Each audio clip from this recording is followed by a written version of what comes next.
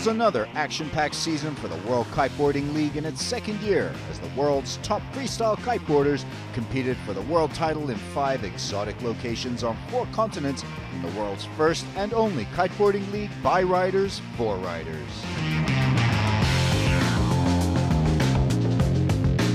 The season started off in Leucate, France with the Mondial du Vent, after which it headed to the Netherlands for the Texel Brunotti Kiteboarding World Cup, before going on to the opposite shores of Europe for the Amarok Kiteboarding World Cup in Akyaka, Turkey.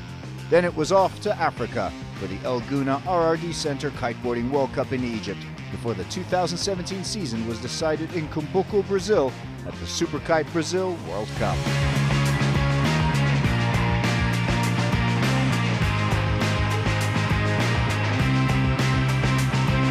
Best freestyle kiteboarders in the world gathered from dozens of countries with one objective to be world champion.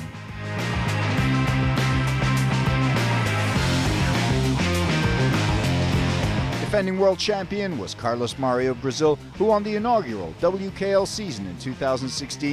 And he was out on the water to defend his title in 2017, but he had to contend with some fierce competition from the likes of Spaniard Liam Whaley, who challenged Carlos Mario all the way to the end. It was a star studded, talent packed field with former world champions and emerging young challengers that made 2017 a truly special season.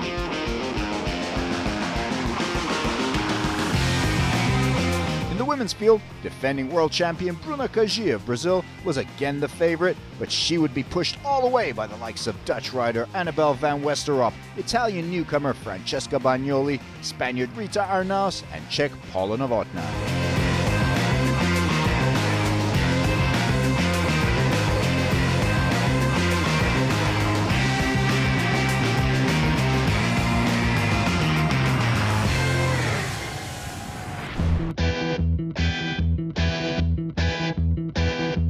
The 2017 season kicked off in one of the world's premier kiteboarding locations, Le Leucate, France, where the northwesterly Tramontana winds, unique climate, and challenging conditions make this an ideal location for the Mondial du Vent, one of the most renowned kiteboarding events worldwide for the past 21 years.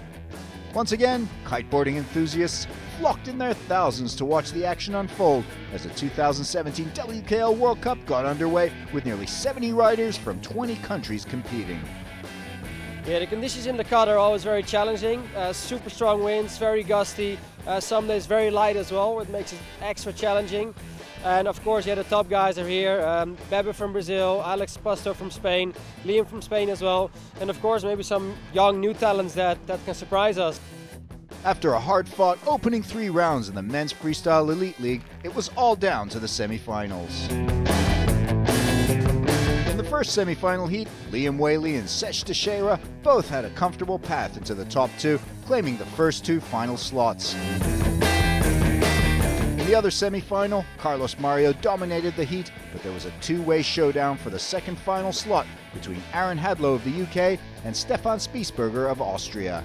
Hadlow seemed to have clinched it with a 7.03 backside 315, but then Spiessberger rose to the challenge in a do or die final trick. A 7.13 slim 5 saw the Austrians snatch the last final ticket.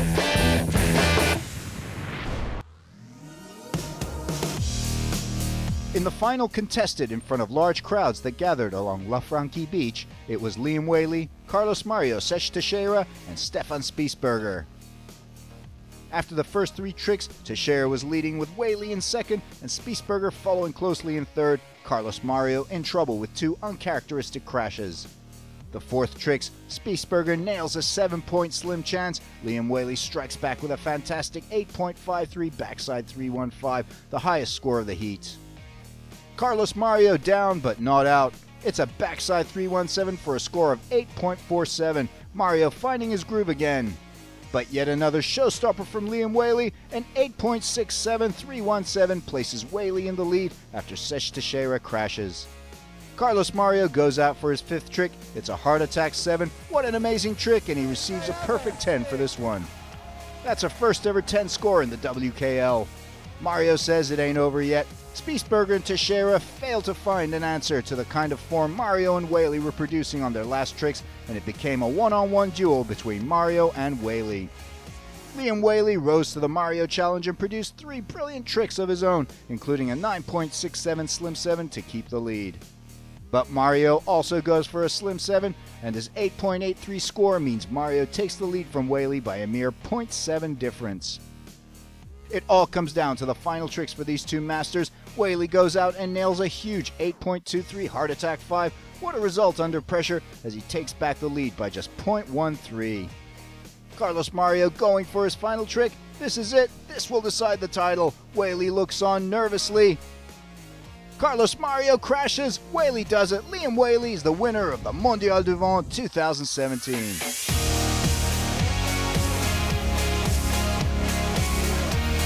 The ladies' final was an outstanding display from the very start as all four riders showed how far the bar has been raised in female freestyle kiteboarding.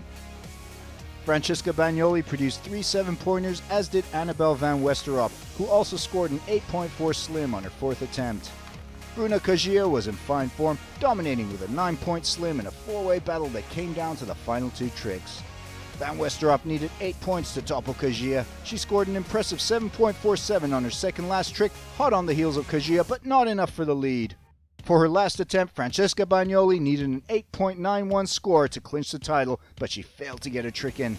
Then Van Westerop went out for her final attempt. Could she do it? She needed a big one. It was a brave shot, but she crashed out, and that gave a slim win to WKL number one Bruna Kajiya by just 0.53. Bruna Kajiya started the 2017 WKL World Cup off with a win.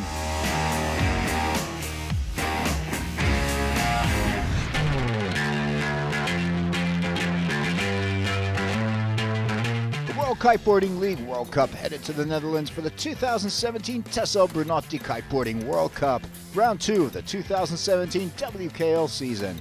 The marshy, sand dune covered shores of Texel host one of the most important kiteboarding events of the year, and the natural beauty of Texel was the perfect backdrop to some of the best freestyle kiteboarding action in the world.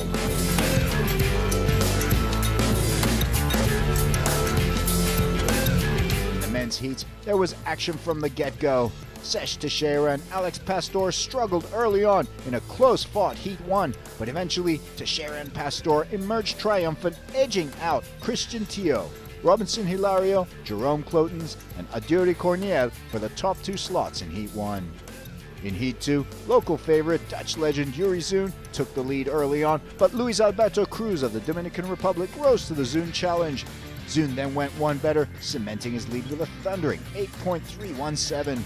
The fight for the second direct round three slot was on as Luis Alberto Cruz fought David Tonijuan of Spain. Tonijuan gave a brave fight with a 7.65317, but it wasn't enough to beat Cruz, who joined Zoon into round three. Cruz beating Zoon on the final tricks to take the winning spot in the heat, Zoon coming in second. In Heat 3 of the Men's Elite League, Liam Whaley, British champ Aaron Hadlow, Austrian rider Stefan Spiessberger, French riders Nicolas Delmas Paul Cerin, and Simon Lamousse of Mauritius. It was a close fought heat, all riders struggling to find their form in the light and unpredictable conditions, but in the end, falling winds meant the heat would be cancelled, and that concluded the Texel Brunotti Kiteboarding World Cup.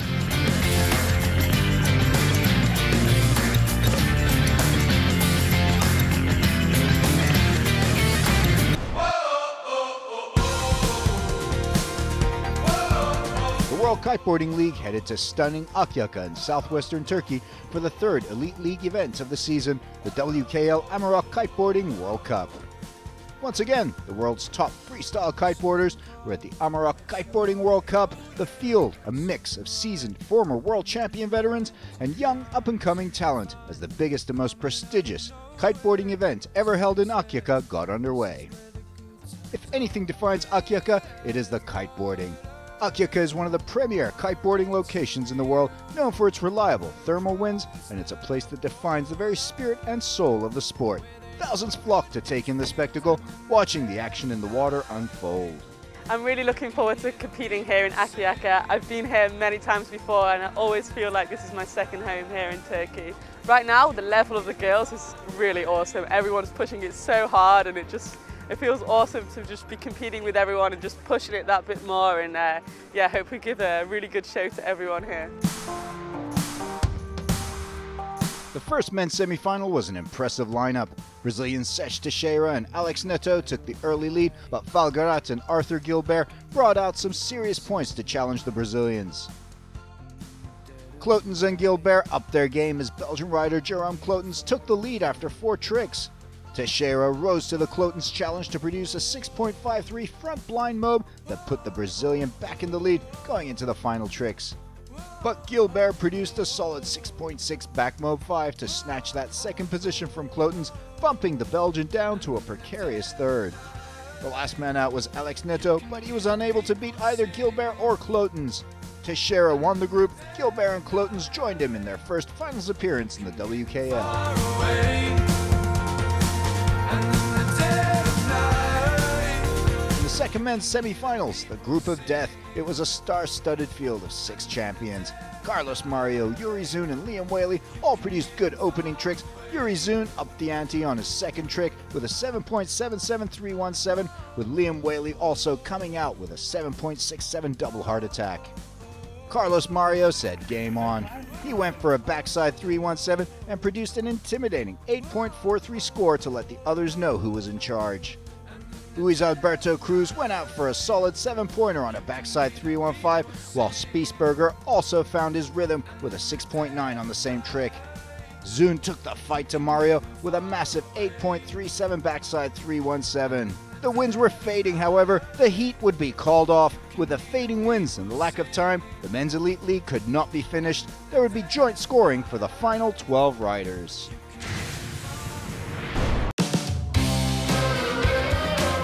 Final was a who's who of world kiteboarding, where all the world's top female kiteboarders were on hand for a spectacular battle for the 2017 Amarok Kiteboarding World Cup title in Akyaka. On their first tricks, all the riders went for a backside 313. On their second attempts, it was a mixed bag of tricks. Bruna Kajiya rained on everyone's party with a thumping heart attack for a dominating 8.5 score, letting the field know who was boss. Hannah Whiteley rose to the occasion to produce an incredible 8.03 back mobe, while Paula Novotna also came out and laid down a fantastic heart attack for 8.23, placing her right up there behind Kajiya. Bruna Kajiya went out one more time, and it's just as good as her second trick. She scored an 8.13 on her slim, solidifying her lead as she celebrated on the beach. Now, every trick was do or die for Hannah Whiteley. Oh no, she crashed it, and her chance for a podium was gone but Francesca Bagnoli was in it to win it, a tower of consistency so far, earning a seven pointer on a Hinterberger Mobe for her fourth trick, making her a contender for at least a podium finish. Rita Arnaus was up next. Could she bring it under pressure? Look at that, a magnificent heart attack for 8.33. The Spaniard is a contender indeed, and she is in form. In terms of best four of six tricks, she actually moved into the lead ahead of Kajiya with that one. Could Kajiya be beaten? But no such luck for Van Westerop. A crash on her fifth attempt suddenly put her campaign in trouble, leaving her back in fifth. Bruna Kajiya knew she needed to get another solid score to reclaim her lead. A 6.87 back to blind did it for her. She was back on top, and it all came down to the final tricks in the women's final.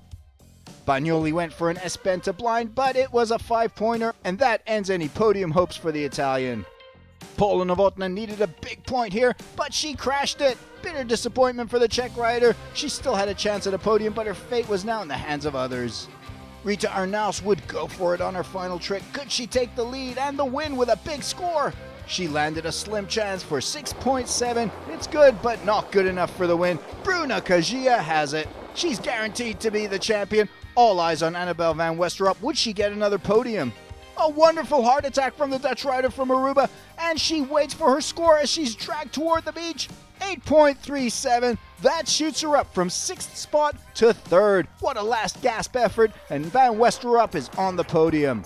I'm lost for words right now. There's like a lot of emotions.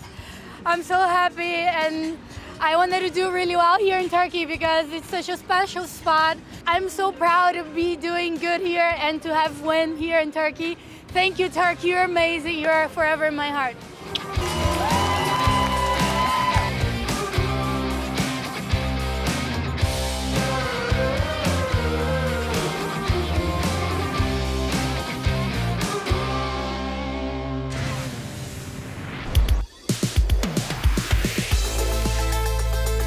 WKL World Tour headed to idyllic El Gouna, Egypt for the El Gouna RRD Center Kiteboarding World Cup, round 4 of the 2017 season.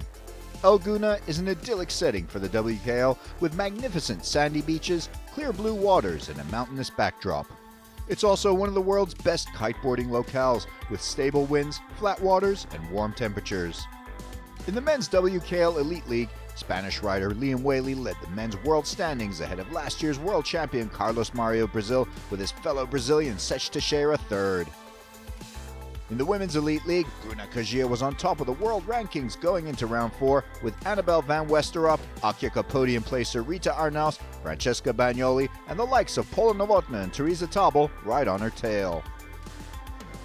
There were three former world champions and an up and coming champion in the making in the first of the semis as Alex Pastor and Liam Whaley up against Brazilian powerhouses Carlos Mario and Sesh Teixeira. Carlos Mario continued his phenomenal form in the early rounds with an intimidating 9.4 Heart Attack 7 to kick things off. But then world standings leader Liam Whaley started to put pressure on the world champion with an 8.83 backside 317. Pastor and Teixeira started to find their rhythm as well by their fourth tricks, both going for a slim 7, Pastor scoring 7.77, Teixeira 7.5. Mario went from strength to strength, bettering his last score with a near perfect 9.93 KGB7, which guaranteed the heat win. Pastor struggled, the fight for the second final slot was between Whaley and Teixeira. Whaley knew he needed to rise to the occasion, and rise he did. A brilliant 8.87 KGB5, that was all he needed. Whaley joined Carlos Mario in the finals. In the second men's Elite League semifinal, outstanding Brazilian Alex Neto was up against three Dominican riders, Posito Martinez, Luis Alberto Cruz, and Adeuri Corniel. All four riders produced one high scoring trick after the next in a very tight fought heat, but it was a splendid 8.23 Slim 7 that shook things up and shot Cruz up into the lead. Adeuri Corniel kept his cool and his rhythm to seal a 7.43 double heart attack that gave him the edge and moved him past Cruz to take the helm. Cruz was a tower of consistency in the semis, landing every trick to finish second behind Corniel and join his countrymen in the final. After two great semifinals, the Women's Elite League final was all down to four riders. Francesca Bagnoli, Paula Novotna, Annabel Van Westerop, and of course Bruna Kajiya. The wind started to subside at El Gouna, but world champion Bruna Kajiya found enough of it to power through a well-executed backside 313 to score 7.63 and move into the lead from the get-go. Francesca Bagnoli went out for her second trick, an 8.17 slim, as the Italian snatches the lead from Kajiya. Van Westerop rises to the challenge to land a 7.83 back to blind, while Kajiya goes for a huge heart attack on her second trick, and she nails it with near perfect execution, 9.39. The Brazilian ace takes the lead from Bagnoli. After her two opening crashes, Paula Novotna had to produce big points to stay in the running. It's a heart attack, and what a heart attack! 9.03, that's exactly what she needed.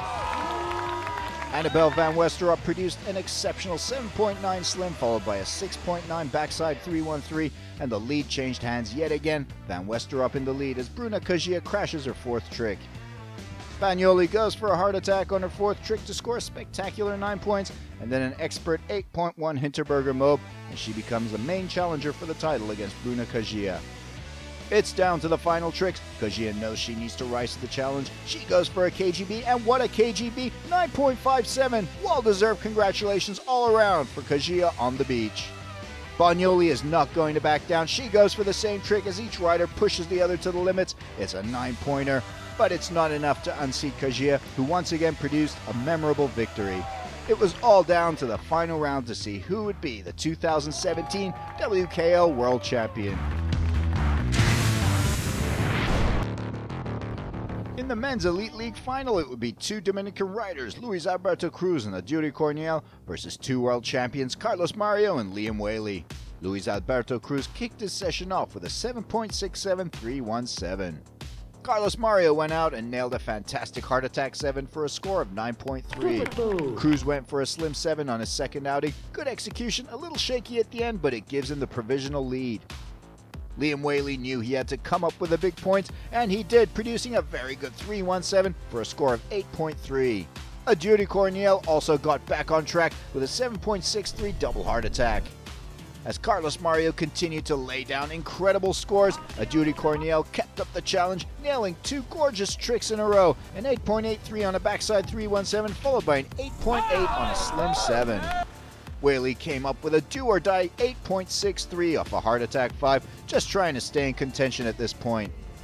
Luis Alberto Cruz knows he has to go hard and go big, very big. Oh, and it goes wrong for him. It's a big crash.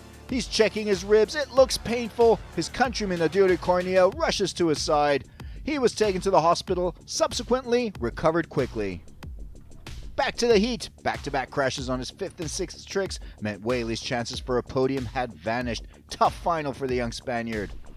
Corniel was the only man who had any chance of challenging Mario, and although his 7.97 off a 317 is good, it's not enough for a win, but he does move up into second position. The man of the hour is Carlos Mario. This is his final. A backside 319 is a rare trick to see, and not many riders have the nerve or the skill to try it, but Carlos Mario is not just any rider. There it is, unbelievable. The crowd can't believe it. It's a perfect 10. Whaley and Corniel finished off with two good tricks, trying to at least give the spectators a farewell show, but all eyes were on Mario to see what he would do on his final trick now that the title was guaranteed. It's amazing and incredibly executed Hinterberger Mob 7, and believe it or not, it's another perfect 10 pointer. Carlos Mario is the resounding Men's Elite League winner of the El Gouna RRD Center Kiteboarding World Cup 2017. What a performance from him throughout this event, and what a finish in that final with two perfect tens and no trick below 9 points, a superhuman feat. Corniel is a well-deserved runner-up, and Luis Alberto Cruz still manages a third place despite laying down just four tricks.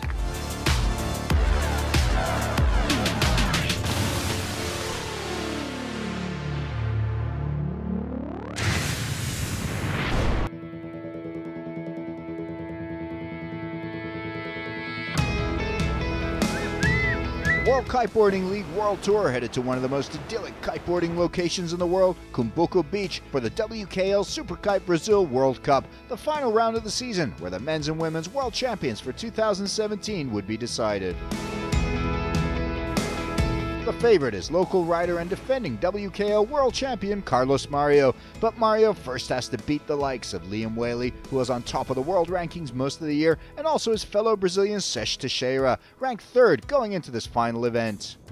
In Heat 1 of Round 1, Luis Alberto Cruz from the Dominican Republic started the day with a bang, throwing an impressive 317 right at the start.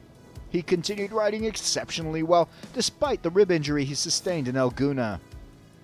He passed directly into the next round, joined by young Brazilian rider Manuel Suarez, only 17 years of age, who rode a fantastic heat, not crashing any of his tricks and beating the likes of Sech Teixeira.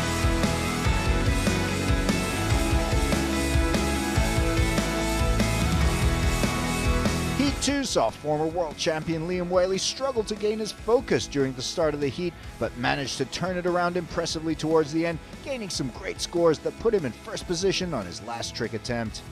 Adeuri Corniel finished second in the heat behind Whaley after riding consistently well, his motivation high after his podium finish in the last event in Egypt.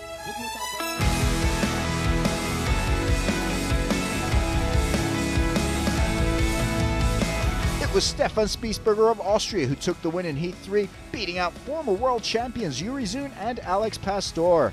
Spiessberger was on form and maintained good focus throughout the heat. Arthur Gilbert from France also put on a strong performance with some innovative tricks to come in second behind him. As the wind dropped dramatically by the end of Heat 3, the prospects for Heat 4 looked dim. Garat, Eric Anderson, and defending world champion Carlos Mario were able to get some solid tricks in at the start of Heat 4, but the Heat eventually had to be abandoned before the third tricks. And so, at the end of the final round of the WKL Super Kite Brazil World Cup, the WKL World Champions for 2017 were decided and crowned in Cumbuco, Ceará.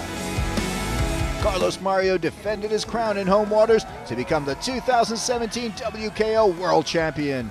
Liam Whaley of Spain, world runner-up, and another Brazilian, Sech Teixeira, ends the season world number 3. Estou bastante feliz, principalmente por receber esse título em casa. It's been such an emotional feeling for me to win here in my hometown and in my home country.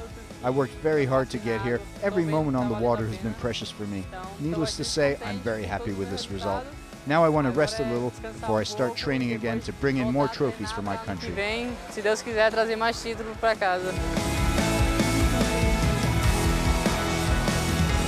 In the women's, it was Bruna Kajiya who dominated all year to defend her World Championship crown. Annabel Van Westerop finishing world runner-up. And what a cap to the season for Francesca Bagnoli, the Italian ending the season on the podium in third. It feels amazing to be able to be crowned world champion here in Brazil. I mean, as an athlete, it's everyone's dream to be able to represent their country well. And you know, I'm so proud and I'm so honored to be able to do this here. And I can feel the energy of the people, you know, there with me, and this means so much more.